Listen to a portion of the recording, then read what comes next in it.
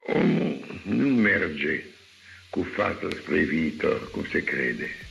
El merge cu spatele și ca un vlăsac, știi, tu vezi, merge așa și ramează și vede trecutul, dar viitor nu-l vede.